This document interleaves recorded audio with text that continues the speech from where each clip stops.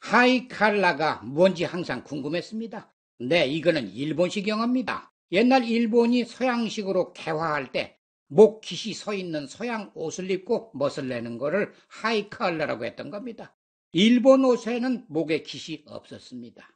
비슷한 단어 하이 칼라는 색깔이 짙다, 진 분홍 색깔 같은 겁니다. 하이엔드 고급은 그 품질이 끝없이 높다. highlight는 명사로는 가장 밝은 부분, 동사로는 그 부분을 강조한다. high seas 심해는 바다 밑에서 수면까지 길이가 높다. 그게 바다가 깊은 겁니다. high tide 만조는 물이 육지로 높게 들어온다.